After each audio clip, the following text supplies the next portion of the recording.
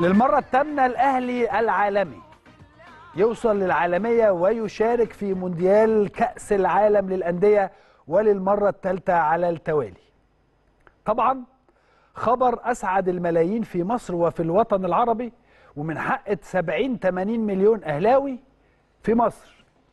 وكل الملايين اللي موجودين أو اللي بيشجعوا النادي الأهلي في الوطن العربي يكونوا سعداء. سعداء بالنادي الأهلي وبما يحققه النادي الأهلي من إنجازات وأرقام قياسية تفوق أي نادي في مصر أو أي نادي في الوطن العربي أو أي نادي في أفريقيا. من حقنا كلنا نكون فخورين باسم النادي الأهلي والنادي الأهلي يظل دائما هو سر السعادة والفرحة لكل أهلاوي. ولكن ثلاث أربع مواضيع مهمة جدا عايز أتكلم فيها مع حضراتكم ولو سمحتوا خلينا دايما نبقى واضحين مع بعض. يعني مثلا خليني الأول أبدأ عن الإعلام الرياضي لأنه الناس كتيرة جدا كلمتني على أمور كانت بتحصل خلال اليومين اللي فاتوا ومنها المباراة. وأنا هقول لكم رأيي في المباراة في تعادل النادي الأهلي يوم الجمعة مع آه فيوتشر ولكن الإعلام الرياضي بيثير علامات الاستفهام على النادي الأهلي. اتكلمنا مع حضراتكم قبل كده بخصوص أخبار الأهلي اللي على طول دايما بتتصدر المشهد.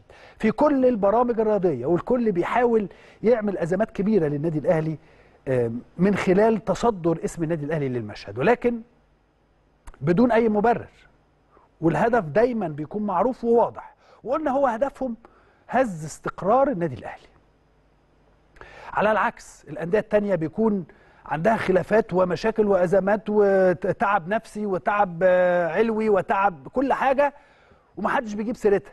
ولكن السيرة دايما بتبقى النادي الأهلي. ومحدش بيحاول يتناول أي موضوعات تخص الفرق الأخرى. قليل جدا يعني. وكأن الأهلي هو المستهدف. والحقيقة ده كان أمر غير مقبول. بس قلنا عادي ميولهم. واحد ما بيحبش الأهلي. أو الاهلي عامل له مشكلة. ومن ضمن الناس اللي على الاهلي عاملة لهم مشكلة هتكلم عنهم كمان شوية لسه جاي لهم.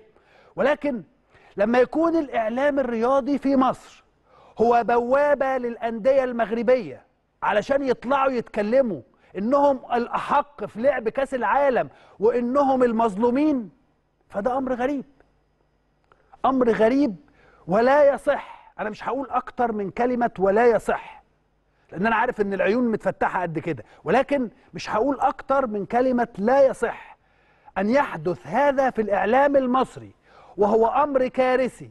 ولا تسألني عن المهنية في هذا التوقيت.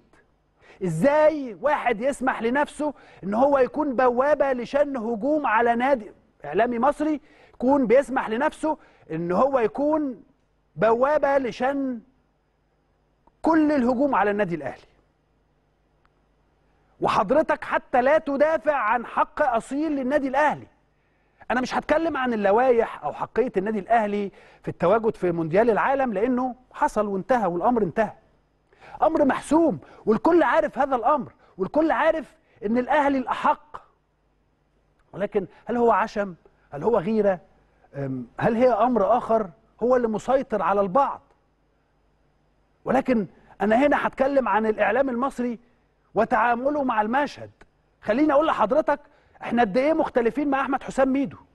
بنختلف معاه في أمور كثيرة جدا ولكن أحمد مي أحمد حسام ميدو من أوائل الناس اللي طلعت قالت لك أنا في ظهر النادي الأهلي في كل شيء الفترة اللي جاية لأنه بيمثل مصر. هو ده الإعلام. إحنا عمرنا شفنا قناة مغربية بتتبنى موقف نادي مصري. بلاش أقول الأهلي. أي نادي مصري أهلي زمالك إسماعيلي أي حاجة أو بتتبنى مشكلة أي نادي في أي مطالب؟ الإعلام المغربي والاتحاد المغربي وكل المغاربة وده حقهم بيساندوا الأندية المغربية ومنتخبهم. لكن عندنا عمرنا هل حد كلمني مثلا مرة وقال لي تعالى يا كابتن إسلام أنتوا الأهلي أحق إن هو مثلا يعني يلعب في كأس العالم؟ عمرها ما حصلت. لكن الإعلام عندنا بيفتح برامجه علشان مسؤولين أندية خارج مصر تطلع تتكلم رغم إن الأمر محسوم وخطاب الفيفا موجود ولا ولوائح البطولة محسومة. ولا مجال لمثل هذه ال- الأمور. مش هقدر أقول لا لا مش هقدر أقول إثارة فتنة ومشاكل وهذا ما أعرفش أنا مش فاهم الحقيقة. ليه أعمل بلبلة وضجة في شيء ممكن يؤثر سلبيا على النادي الأهلي. أنا بتكلم بمنتهى منتهى الموضوعية. هل الموضوع ده لو كان مع نادي تاني كان اتعمل كده؟ ولا كان من الممكن يبقى أمور أخرى؟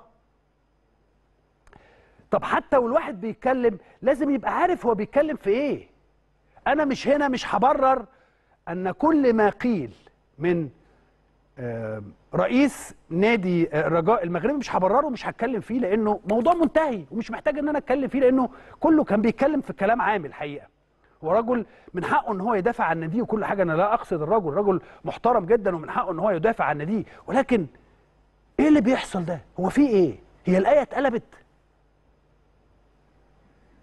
طب على الأقل وإحنا بنيجي نتكلم بنقرأ عندنا مكالمة النهارده مع فلان الفلاني أنا بقرأ عن فلان الفلاني إن أنا عندي كذا البطولات اللي قبل كده كان شكلها كذا كذا كذا كذا. لكن أنا عمري ما هتكلم أو أرد على أمور عامة أتكلم فيها رئيس نادي الرجاء. لأنه في النهاية إحنا بنحترم كل الأندية والنادي الأهلي وعلاقته بكل الأندية علاقة محترمة وكبيرة جدا وستظل في هذا الشكل وبهذا المستوى. فالحقيقة أنا بستغرب جدا من هذا الأمر خصوصا الأمر منتهي. فاللي بيفتح الأمر بيفتحه ليه؟ أنا هتقول لي هتقول لي أحمد حسام ميدو ضد النادي الأهلي. هقول لك okay في بعض الأمور وبالمناسبة إحنا دايما بنتكلم بهذا الشكل وبقول لميدو بكلمه أقول له ميدو ما ينفع يفهم فيه الموضوع واحد اتنين تلاتة وهو يكلمني يقول لي فيه كذا كذا كذا ونت... ونتبادل وجهات النظر. لكن ميدو المرة دي عجبني بصراحة. قال لك أنا في ظهر النادي الأهلي في كل شيء لأن النادي الأهلي هو اللي بيمثل مصر في هذا الأمر. هو ده اللي إحنا عايزينه هو ده الكلام الصح اللي إحنا عايزينه. فالحقيقة آه، أنا مستغرب جدا من هذه الأمور خصوصا إن الموضوع انتهى. الحمد لله جواب جه من الفيفا على الاتحاد المصري لكرة القدم الساعة 4 5 تخيل حضرتك أنا قلت إيه؟ الاتحاد هيصبر شوية؟ اتحاد كرة القدم يعني هيصبر شوية؟ إحنا عارفين إن في جواب جاي من الاتحاد الدولي للاتحاد ال- المصري المحلي بيقول إن الأهلي هيلعب في كأس العالم للأندية وبيوصل جواب للنادي. فإحنا الحمد لله السنة دي شفنا الجواب جه وما اتحطش في الدرج. ما كانش فيه درج. بص هنا ما فيش درج. الظاهر ما كانش فيه درج أو الناس كلها مسافرة الناس كلها مشغولة في كأس العالم ولا حاجة فنسيوا يحطوا الجواب في الدرج. لأنه أصبح العادي إن كل الجوابات اللي بتيجي للنادي الأهلي بتتحط في الدرج. زي جواب التنظيم اللي حصل قبل كده في موضوع الوداد نهائي دوري الأبطال. هتقول لي مش هتنسى؟ هقول لك مش هنسى. كان زماني ثلاثة أفريقيا. الله أعلم كنت هتخلي فرصي 50 50 بدل ما خليت فرصي 75 25 في ظل أرض مش بتاعتي و- وأرض بتاعت الوداد. فالحمد لله إن الجواب طلع من الدرج أو ما وصلش للدرج. أول لما جه قاموا الاتحاد كرة القدم أعلن والنادي الأهلي أعلن والجميع أعلن؟ على الرغم من إن هناك البعض في مصر كان بيشكك في هذا الأمر. أنا بس حبيت أتكلم في هذا الموضوع.